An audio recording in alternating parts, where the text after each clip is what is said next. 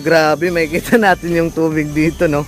Ito yung entrance way papunta sa Pahayahay Nemo Beach Resort. So, itong floating cottage nila is nagkakahalaga ng 1,000 pesos. Pwede nitong renta. Na design ng ganito yung lifeguard house kasi nga um, overlooking siya. Makikita siya hanggang doon sa may um, floating cottage.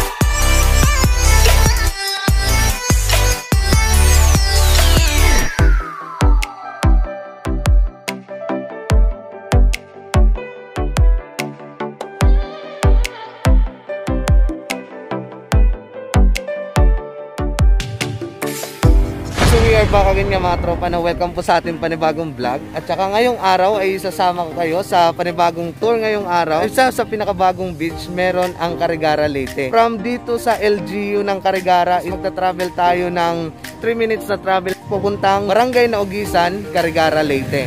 So tara,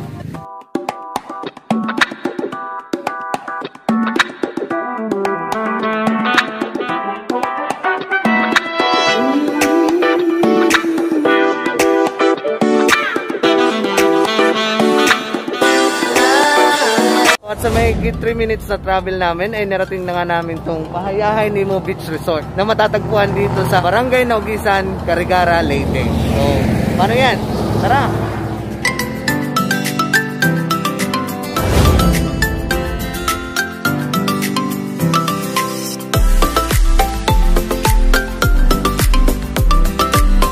Pasok nyo pa lang dito sa Pahayahay Nemo Beach Resort is makikita nyo yung entrance. So, dito kayo magpapalista. Tsaka, syempre, kailangan pa rin masunod yung proper social distancing. Ate, magkano po yung entrance fee dito, ate? 10. Ito pa lang, no? Uh, ah, 10 pesos yung adult, so 5 pesos yung children. Sa ngayon is a Saturday, kaya marami yung mga family na nagpupunta ng mga beach. So, sige, tara!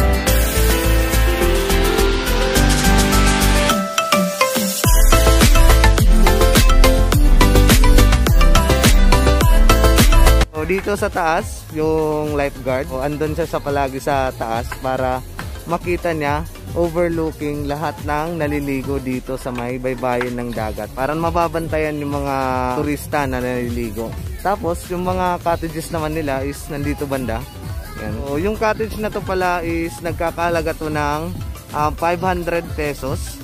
So makikita naman natin napakaganda ng cottage na ganito kasi malinis. Ito naman banda yung CR nila. Ito sa baba is cottage din yan eh. Tapos din sa taas is sa lifeguard. Tapos meron din sila dito mga activities. Meron sila ditong um, volleyball court. Kung gusto nyo maglaro, so pwede kayong maglaro dito ng volleyball. Itong Pahayahay Nemo Beach Resort is bago lang to nag-open sa ngayon. Tapos meron silang mga water activities kagaya ng kayak, marerentahan nyo ng 150 per hour. So, nagkakasya na siya ng 3 person, pwedeng sumakay dyan.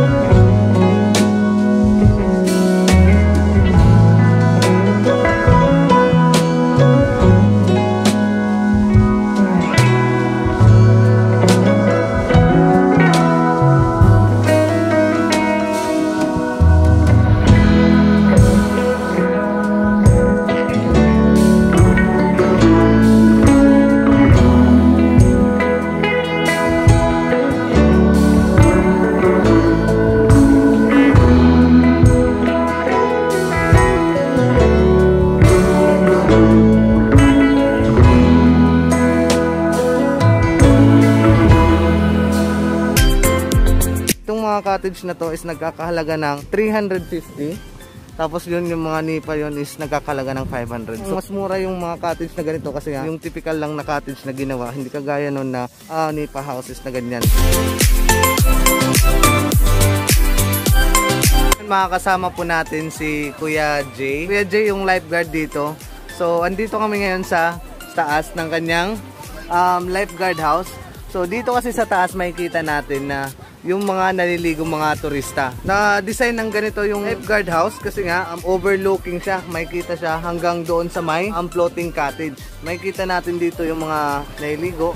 Ano po yung trabaho natin Ay, bilang lifeguard? Yung trabaho po ng lifeguard, magbantay po ng naliligo sa dagat, lalo na yung mga bata para sa kaligtasan nila. Uh, salamat po. Yun nga no, um, shout out nga pala kay Kuya Jay at saka kay Kuya Macho. Macho. Macho? Oo. Kaya pala Macho yung pangalan ni Kuya. Kasi Macho.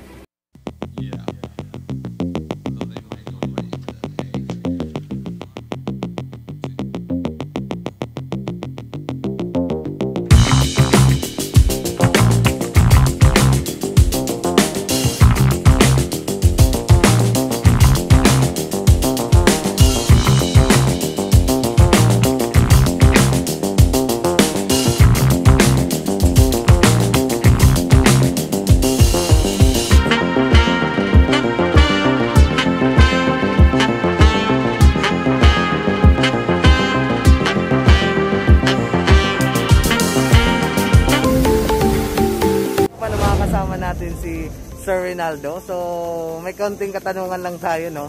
So, Sir Rinaldo, di ba yung beach na to, bagong open lang to, di ba? Opo. So, bakit kayo dinarayo dito?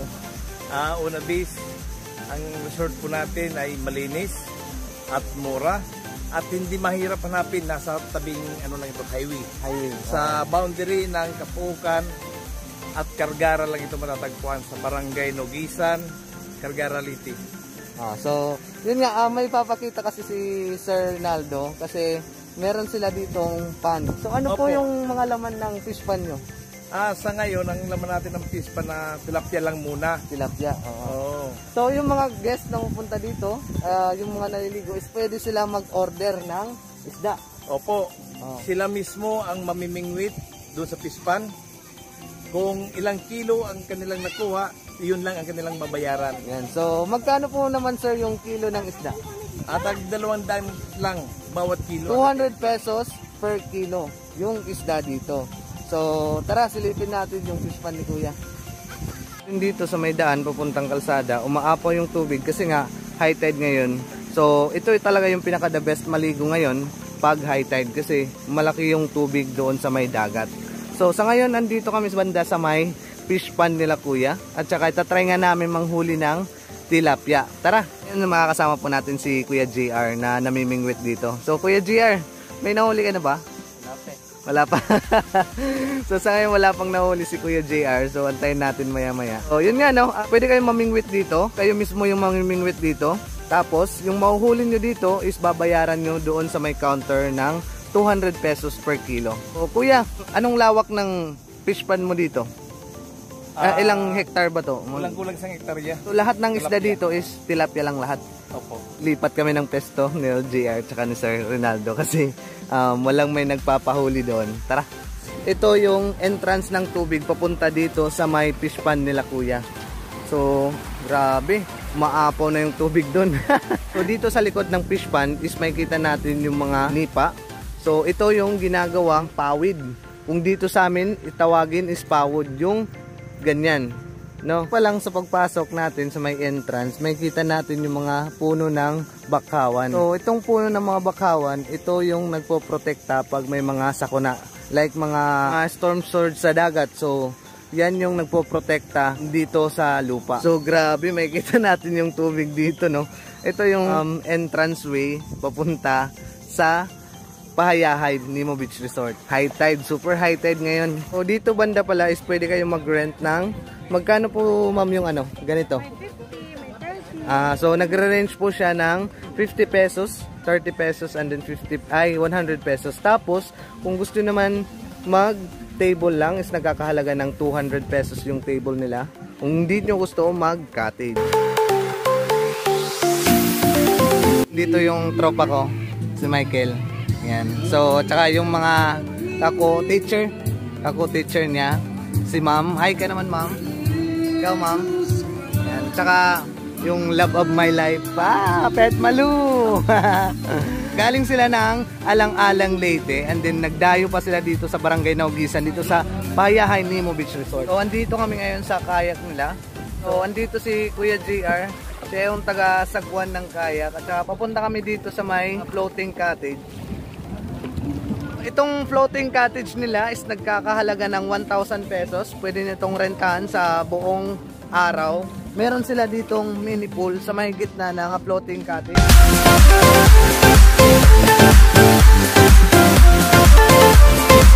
Dito sa Pahayahay Nemo Beach Resort ay meron din sandbar. Hindi lang Kanigaw Island yung may sandbar. So makikita natin dito sa likod, lumilitaw na yung sandbar kasi nga pa-low tide na. Na dito sa Pahayahay Nemo Beach Resort ay matatanaw natin yung ah, town proper na Capuocan Leyte. From dito na bridge, papunta dito is Carigara. So ito yung tulay na nagdudugtong ng Carigara at saka Capuocan Leyte. Ormoc. Yung bundok na yan is sa Biliran. So Biliran and then dito naman sa last is Nabal. So ito yung sandbar na sinasabi ko. Kasi pag low tide kasi lumalabas itong sandbar dito. Yan. Kaso nga lang hindi siya white sand na kagaya sa Canigaw Island. Here mga ganyan mga tropa na. So dito na natin tatapusin yung ating vlog ngayon. At saka yun nga. Sir, ano masasabi niyo sir? Yung mga kababayan natin sa masulok ng Pilipinas na taga rito sa Leyte nga gusto pumunta dito sa Payahay Nemo Beach Resort, ipunta lang kayo. Araw-araw bukas ito para sa inyo. So, yun nga no. Sa magpupunta nga dito ay kailangan natin mag-social distancing. Diba sir no? Tama po yun. Kailangan sundin natin ang batas. Dahil Oo. yan po ay makakabuti para sa atin. So, yun nga. Um, puntahan nyo dito sa Pahayahay Nemo Beach Resort. Andito sa Barangay Naugisan, Carigara, Leyte. So, don't forget to like, share, comment, and subscribe. And click notification bell para updated kayo sa aking mga video. Thank you. Thank you, sir. Thank you.